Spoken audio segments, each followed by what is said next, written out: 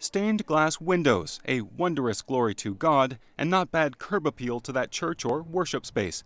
But what if there were more you could do with these cleverly colored pieces of glass? By looking at the potential of these pieces of glass in a different light, one Toronto artist is harnessing the power of the sun by installing solar cells into her work, transforming these pieces of glass into solar powered windows.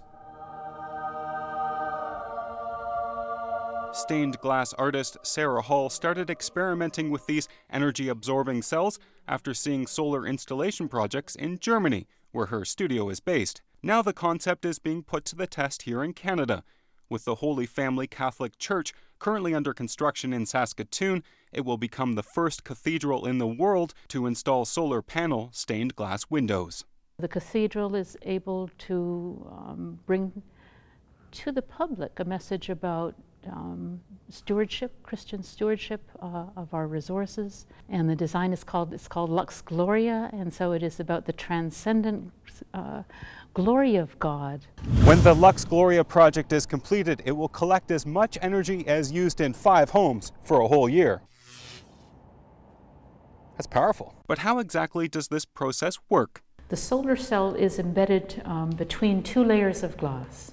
So it actually, and this layer here is called ultra white. It means that the most amount of light possible can then reach the solar cell. This is a safety glass, it's tempered.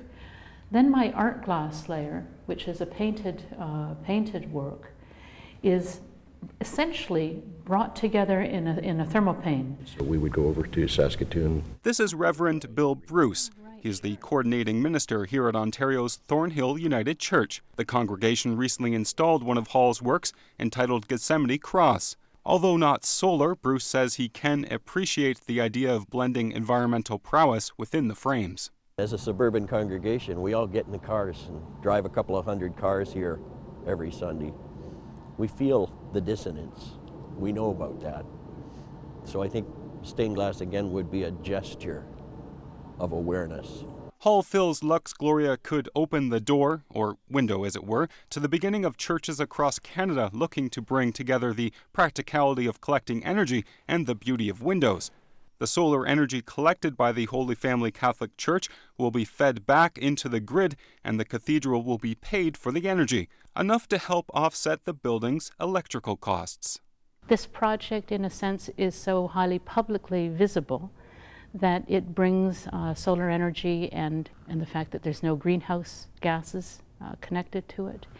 It'll push things uh, in the public mind, and, and we hope that then it will actually um, push the utilities to give better rates for solar. I think there's a whole bunch of things that are connected to this.